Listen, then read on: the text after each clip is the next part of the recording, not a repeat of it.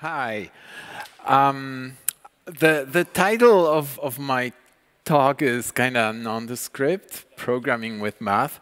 Uh, this is because uh, when I got the invitation, I was supposed, like half a year ago or so, you know, I, I had to come up with a title and some kind of description, and I wasn't sure what I would be interested in, right, you know, like at this I, I, keep changing my, my interest, so I didn't know what, what would be my current interest. Um, and I, I, knew it would be mathematical, some, somewhat related to mathematics, so that was a safe bet, okay? But what I'm, and what I'm going to talk about will be related to mathematics, but it will be mathematics of type theory, okay? So we'll be talking about type theory. And type theory is, is really interesting to me. And every time I go to uh, a, a, conference, I try to talk to people who, um, who don't like types, who like programming JavaScript or all these languages that are weakly typed. Uh, trying to find out why would anyone want to use a language that doesn't have types, right? So my next slide. Why people hate types. And, and there are actually good reasons to hate types. Okay? So, so I will be like playing devil's advocate right now. Um, the main reason why types are a problem is that types limit our ability to reuse code right? We, when, when we write code, like if you went to the previous um, talk uh, by Chris, um, he gave lots of examples of, of, uh, of code in which types were really, really useful. But these were all um, concrete examples, right? But there is this, this other side of the coin when people are trying to write libraries, right? And in libraries, you want to write code that's reusable. Or you write some code and you decide, okay, I want to be more general than this, right? And I'm stuck with this particular type. How do I generalize over types? So this is a huge problem. And in most languages, generic code is really hard to write, right? It's, it's like working with, with types, working on types, right? Using types as variables essentially requires you to learn a different language, right? It's like uh, in, in C++, for instance, I, I used to be a C++ programmer in C++, it was really fun because you had to learn this new language, the, these, these uh, uh, less than, greater than brackets, you know, and it's, uh, it's like, uh, it's a completely different language. It's a very complicated, complex language, and you have to be like a real guru in order to program in this, in this new language. And then when you make a mistake, oh, gosh, the, the type errors are so cryptic, right? I mean, anybody who's seen type errors in, in template code in, in C++ will know. So it is really difficult to use types uh, when you write reusable code. And there is a proof of this. The proof is JavaScript. JavaScript has lots of libraries. It's many, many more libraries than C++. C++ is an older language and has, it's like every time I went to like a C++ meeting, there was always this complaint about like, why don't we have libraries to do this or to do that? Like every other language has all these libraries and C++ doesn't. Why doesn't it? Because it's extremely hard to write libraries. And, and there, there are these few, I, I mean, fingers of one hand or two hands maybe, uh, gurus who can write really reusable libraries of the quality the, of standard library quality, you know? And it's like there is a new addition to the standard library every few years or so. On the other hand,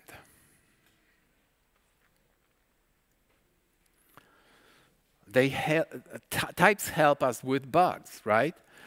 The type checker is like this uh, amazing tool, it, and it comes free with, with your compiler. It detects bugs in your code. So it's, I mean, if somebody told you, you know, you're a JavaScript programmer, you know, I have this product, you know, how much would you pay for it? It goes over your, your program and checks it for errors and gives you like error reports. You know, how much would you pay for it? With strongly typed languages, you get it for free. And then types provides you with some kind of documentation, right? I mean, in JavaScript, there is a function that takes an object and returns an object. Okay, what kind of object? Well, there has to be some kind of documentation that says, well, this object has to have this field and that field and so on, and that field has to have another field and so on. So where do you put this documentation, right? You, you, you write comments maybe, uh, or maybe you have a separate document or so on.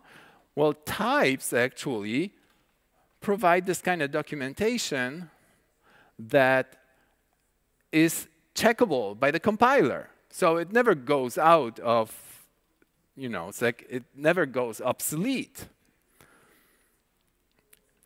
and it's, it's actually can help you in designing your code, not, not in many languages, but like the, the more strongly typed the languages, the more people actually use this idea of type-driven development. And um, in Haskell, a lot of development is, do, is, is done this way, uh, and, and in dependent type languages like Idris, you know, there is like a whole book about type-driven development. And, and going back to JavaScript, okay, there are so many libraries. okay, so we agree, right? so what is the problem? Is, is this inherent in, uh, in typed languages that they have to be so hard to use? Uh, or is, it, is, it, is there a reason for this um, that can be overcome? Can we overcome this problem? So the, the, the, the, let's go to the source of the problem. Okay? So one, one source of the problem is that most strongly typed languages, uh, and, and I'm not pointing fingers, um, have a very ad hoc type system that was developed uh, organically that started by specifying types as, you know, this is how the stuff is stored in memory, okay? It uses so many bytes, and these bytes are followed by these bytes, and so on. So it started very, very low level, and then you have pointers, right, which are addresses in memory, and so on. So you start with this low level, and, you, and then you start to build up a, a, more abstract type system, and um, and you end up with this kitchen sink of the type system. Okay? And, and, uh, and, then you try to add generic types in order to build libraries. You, you, need some kind of genericity, right? You have to abstract over types. And so you add them as an afterthought. It's like C started without any generic types right? You had to use macros, then C++ came, didn't have anything, and then they came up with templates, okay, because they wanted to write the standard template library, STL. Um, so, so it was added, right? Then Java came and generic types, uh, you know, like let's do everything with casting and so on. Um, void pointers, casting, what, what have you, right? Uh, and eventually they decide, oh, okay, we really need something. Uh, so let's just add on top of an existing language without really thinking about it from the very beginning, right? And now we have some new languages that say, no, no, no generic programming. And, and of course, in a few years from now, they will have generic programming, right? you can quote me on that. okay. Uh, but there is, there is a good theory, okay? This is what I was, uh, what I'm going to talk about. There is a good theory, and, and uh, most language designers uh, ignore this theory because it's, it's a hard theory. It's not an, an, an easy theory. It's, it's like abstract mathematics, okay? But my point is that without these good basics, you know, if you don't have good foundations in your language, uh, then it's really, really hard to build these higher level abstractions that will let you reuse code, let you write generic code that then can be reused so that you don't have to reinvent the wheel every time. And, um, and there is a systematic type theory, and uh, it's, it's uh, by this Swedish guy, okay, Per Martin Löf, if I pronounce it correctly. Okay, so so he he's uh, this, this is not such an old theory, you know. I mean, uh, he's still alive. Um, it's, it's, it's, not, it's not like lambda calculus, right? Uh, um, so so this this guy actually um, wrote a, a, a, theory that's mathematical theory, but, but it can be used to, to describe things like algebraic data types and, and actually also dependent types. So this theory encompasses all this, all this stuff. But interestingly enough, it's, it's a theory that has um, nothing to do with programming. Um, I, I, don't think uh, he was uh, coming up with type theory thinking about, about programming. I don't know exactly what the history was, but it, was, it had more to do with, with logic, with uh, uh, intuitionistic logic. And, and the connection between logic and programming is, uh, was discovered um, later as uh, these propositions as types um, Curry-Howard isomorphism, which says that it's actually the same theory, that intuitionistic logic, type theory is the same thing. And in fact, it's also the same thing as category theory. And I, I usually talk about category theory. This time, I'm not going uh, to, to really talk much about category theory. But all these ideas um, can be found in all three areas, in programming, in category theory and in type theory and in logic. Okay, so that's four. Uh, sorry.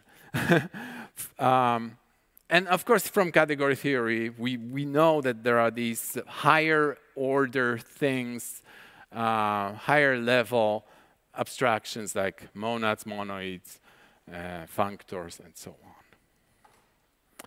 So generic programming, for me, generic programming is, is really abstracting over types. You want to write code uh, that is typed, but then you want to abstract over some set of types and saying my code will not, will not only work for these types, but will work for a bigger set of types, right? So generic types uh, you have to introduce generic types. So these are like three major things that, that you have to do in order to have uh, generic code. Uh, you have to be able to construct types from types. So you need some kind of functions on types. Uh, example uh, from, from C++, let's say, vector vector is really a function on types. It takes type t, it creates a type vector of t, right? And then you can apply this function to a particular type and you get a vector of ints or a vector of booleans and so on, right? But the, the vector that you get from the standard library is really a function on types or a type constructor, okay? So keep this in mind, that this is what, what actually happens. Oops. Um,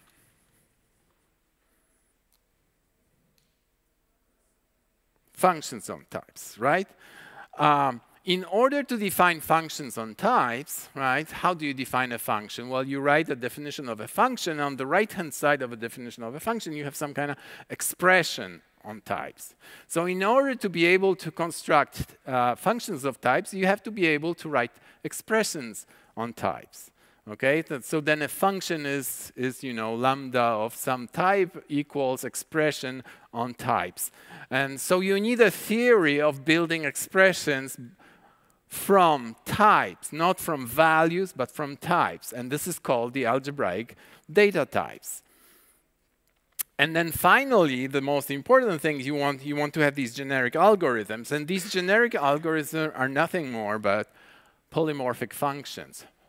Polymorphic functions that work on multiple types at the same time. Okay, so you write one polymorphic function and it will accept a generic type meaning it will work for any type that this generic type uh, can produce. And as always in a systematic approach, you know, you want, you want to decompose your problem and, and then recompose the solution, right? So when, when, when you want to decompose the problem of type theory, well, you have to start with something, with some primitive things, right? So you have to define your primitives. Then you have to define ways of composing these primitive things, right? And composing things that you compose from primitive things and so on. So, so you have this. And this, there is a whole science of composing things, okay? And actually, there are several sciences that are equivalent of composing things from simpler things. And they are things like logic, there's category theory, and there's type theory. And no wonder they are actually the same theory using just different notation because all these theories talk about composing things from simpler things. Okay? So without further ado, let me introduce the unit. So this is our primitive. This is the most primitive type that you can have. But let's start with logic, okay? Because all these types start from logic. So in logic, this is equivalent to the truth value. Truth, T, is always available. It's like if you want, if you say something depends on truth, you know, you can take this truth from anywhere. It just exists, uh, truth value, okay? It has to exist. In programming, by Curry-Howard isomorphism, this is equivalent to the type called unit. In, in Haskell, this is like an empty pair of parentheses, a, a null tuple. Uh, in C++, it's, it's, and in Java, it's wrongly kind of called void. Um, because void should be something that's empty. And if you ask a C++ programmer what is the type void, they will say it's an empty type. No, it's not empty. It has one value only. It's a token that you assume that exists and you don't have to explicitly pass it, right? But if this were a void type, meaning an empty set, you wouldn't be able to call a function that takes a void because you can never generate a value of type uh, which is an element of an empty set. An empty set is empty, so you would never be able to call it. So it's really um, unit, okay? And in set theory, Set theory is very useful because set theory provides this, this model for, for all these types. I mean, the type theory is, is completely abstract, but it has a model. It's like, okay, for every type, I can, I can find something in type theory, uh, in set theory that corresponds to it. And in this case, it's a, it's a singleton set. A singleton set contains just one element. All singleton sets are isomorphic, so it's just pick one singleton set has one element, and that's it. But in type theory, which is, which is abstract, every type is defined by introduction and elimination. what does it mean? How do you introduce a type? Where do you get it from? Meaning, what are the constructors? What are the functions that return this type? Okay, what kind of things you need in order to produce an element of this type? And in the, in the case of unit, the introduction is trivial. You don't need anything, the unit exists. Okay, so the introduction is trivial. We'll see later introduction and, and, elimination rules for other things that are more complex and they make more sense. Unit is just special, okay? Uh, it has no elimination because it has no, elimination means, uh, you know, what, do, what can you do with it? Like, can you, how can you extract information from it? you cannot extract information from, from unit because it has no information. It just exists. Okay? And there is a dual to this. There is, there is the, well, in, in logic, you have false, right? Uh, in um, the false value, and it corresponds to an empty set in set theory, and it corresponds in, in, in Haskell actually there is a type void that corresponds to an empty set okay? It's not very useful um, uh, it has no introduction because you cannot produce an element of an empty set because uh, there aren't any right? Um, so let's get to the next one the interesting one products okay so where do products come from um, so all these things actually come from uh, the way we decompose reality. And the first thing that, that we found out about composition is I have one thing, I have another thing, now I have both things. Okay? This is like just like so trivial, right? And this corresponds to what we call a product. I mean, you might think it's a sum, but, but no, really, it's, it's, it's, uh, it's called a product. And, and again, I'll start with logic. Okay, in logic, uh, this thing of combining two things into one is called conjunction, A and B. How do you uh, produce a conjunction? How do you prove uh, that A and B is true? Well, you have to prove A and you have to prove B. So you need two proofs in order to prove the conjunction, right? This corresponds, in programming, it corresponds to pairs. So a conjunction compares, it corresponds to creating a pair of two types, okay? Which naturally generalize to tuples. It's like if you ha have a pair, you can have a triple, quadruple, and so on. Uh, then you want to, so these, these are sort of anonymous parts, like first, second, third. Okay, you, you can give them names, and then you have structs, you have records, right? In other languages, it says the data uh, part of, of a class is, is these are all product types because when you construct them, you have to provide all the ingredients, right? And this is how products are defined. In set theory, this is called Cartesian product of sets. Okay? What's the introduction? And I'll, I'll write it in, in, in Haskell speak, okay? So in order to create or construct a pair of A and B, you have to provide an element of A, and you have to provide an element of B. Okay, so this is like a function that takes something of A, something of B, and produces a pair AB. It's like Haskell notation is, is very, very concise. Um, um, in, in C++, you have a definition of a pair in the standard library, and it's like pages long. Okay, this is this is what you have in Haskell because Haskell Haskell uh, like is built from from the ground up. It's actually built from the theory, so it's it's not an ad hoc thing added later. Okay.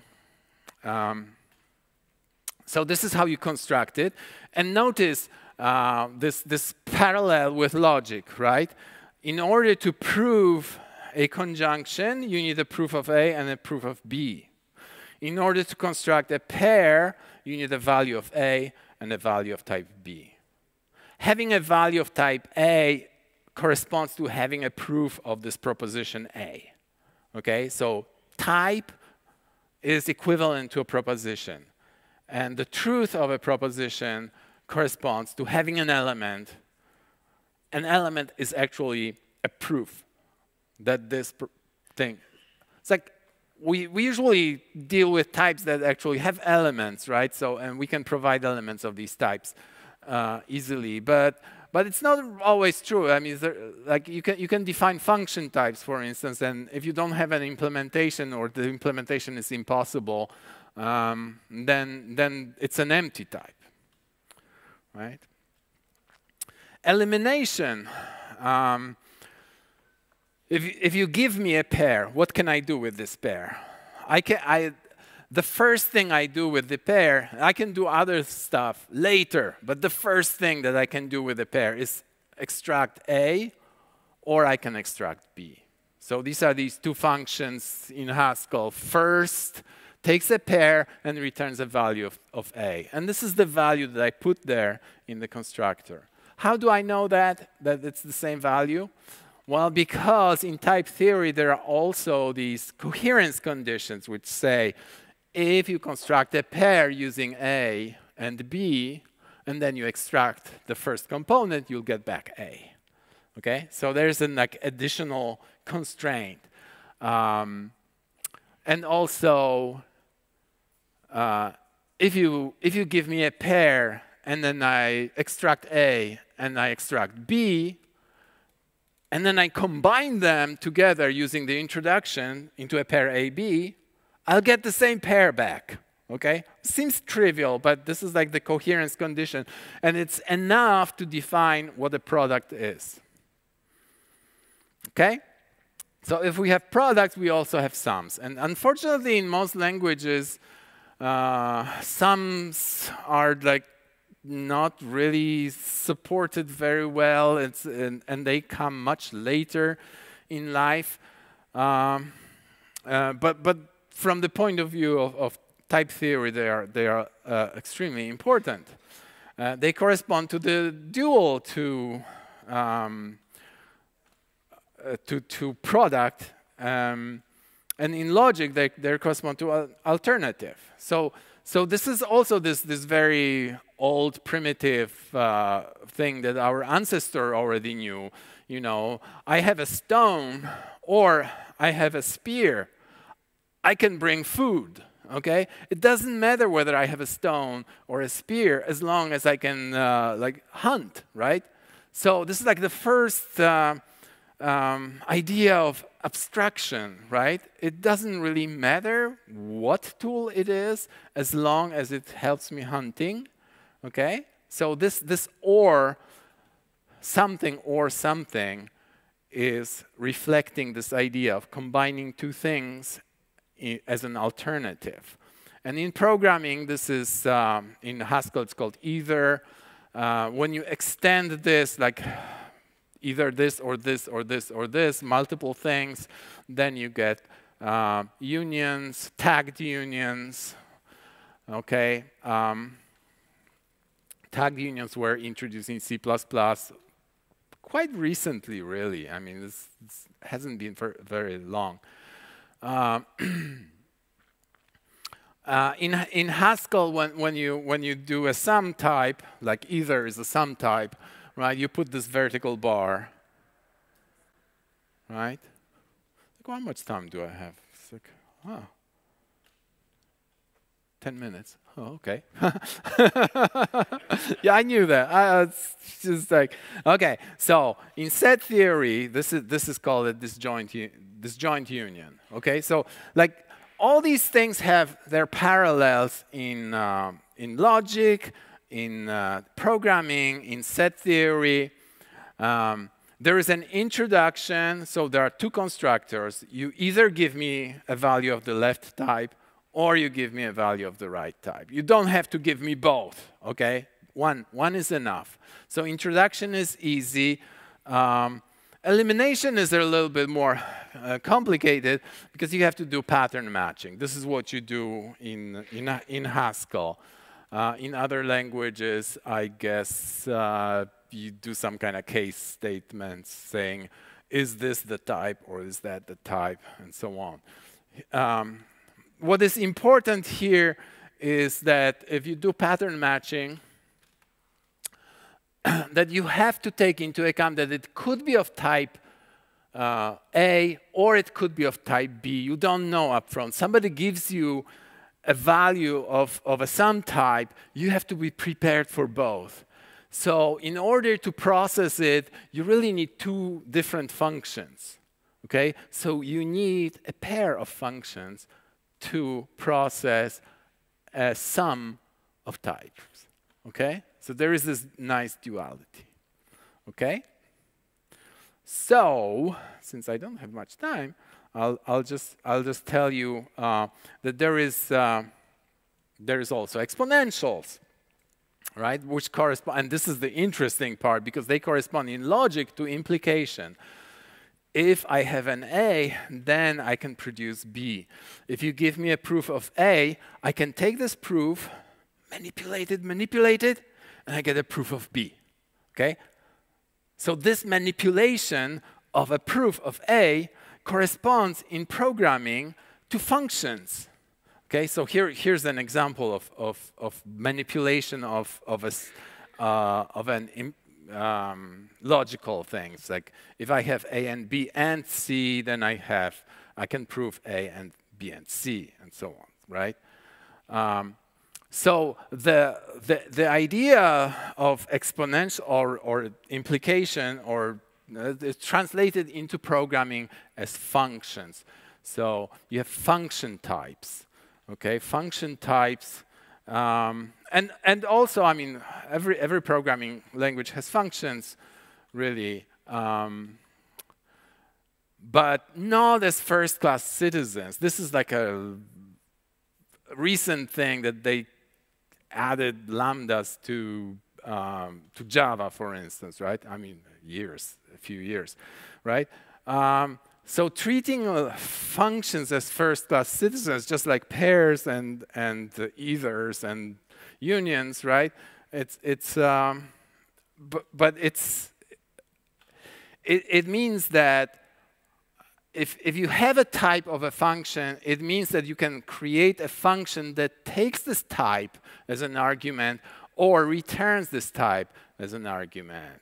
So it makes functions first-class citizens. Okay? And, and here, here is uh, like the proof of this statement in logic is translated into a function that takes an x, is, is, which is of this type a and B and C, and just takes first of first, second of first, second, and so on, right? So, so implementing this function is the same as the proof of this statement, okay? Anytime you implement a function in your language, you are proving a statement, okay? So you are doing logic. I, I keep saying, you know, we programmers are mathematicians. And this is the proof. Okay? so in set theory, you know, we have like a set of functions between two uh, sets, set of functions between two sets. And the introduction is through a lambda. Okay, so this is like the lambda in, in Haskell, but you now have lambda in uh, almost every language, right? And the elimination is, uh, the elimin well, okay. The elimination is by just applying this function, right? So you just apply, the, you, you provide the argument, which is like providing the proof of x, of, the, of A, right? And you get a value of type B, which is a proof of B, right? Okay elimination, evaluation, just function application in, in Haskell is very simple. Okay? So I'm to quickly skip through uh, the rest uh, and uh, just give you a, a little uh, taste of like, this is really, really algebra. So, you, you know, you, you, you have like 1 times a equals a. That's an algebraic equation. Like, can you translate it into types? 1 is unit, a is type A, you know. Uh, so that's the proof in, uh, in, in Haskell, right? It's a pair. Product is a pair of unit and A is the same as A. Not exactly the same, but it's like you can get one from another, another from. So they are isomorphic, you know. You can do with exponentials. It's much uh, nicer because you you have these. Um, these, these translate into function types. This one says a function from a sum type is a, is a pair of functions. That's what I showed you when, when we did the pattern matching, right? Yeah, so, so that's, that's Haskell notation for this statement. Um, in particular, a square is like a function from a boolean to a, which is a pair of values, one for false, one for, one for true, right? Um, and, and the last one is, is the interesting one uh, because in Haskell it's, uh, it corresponds to currying, right? A, a function from a pair, which is a function of two arguments, is the same as a function that returns a function. So it's called currying. And it's just this, this algebraic equation. Okay? And once you have the algebra, then you can define functions. So here's a function. Ta-da, okay. Uh, I, I, put capital lambda because it's a function on types, okay? So it takes a type A and produces 1 plus A, okay? Because now I can do algebra, okay? What is this? It's a maybe. 1 corresponds to this constructor nothing, which is just a unit right? Because it does not require anything and it has only one value. And A is a constructor called just. It just keeps A, right? So this is how we produce maybe, you know. This is called the type constructor. Uh, and, and it has two data constructors, nothing and, and just. So given the algebra of types, I can now produce function on, functions on types. And functions on types are the, the necessary ingredient for generic programming, right? This is what we started with, the idea that, that we need functions on types. And having algebraic types, uh, okay, I'm not going to go through this, but you can you can like generalize this stuff to infinite products, infinite sums, which are which are these existential types. Um, all this this is all really fascinating stuff. and I'm gonna tease you, right? That's uh, yeah, yeah, existential types. and then, of course, you need recursion, right? and recursion is just, uh, well, the advantage of recursion is that you get a Turing complete language. Uh, you pay a price for it, which is that you get non-terminating uh, functions, right? Because a, a, a, recursive function can go on forever, right? but recursive types correspond to, uh, to having definitions that um, that require that are also algebraic equations, but you have to solve them, okay? Because they have the, your variable on both sides. Like uh, define L of A as 1 plus A times L of A.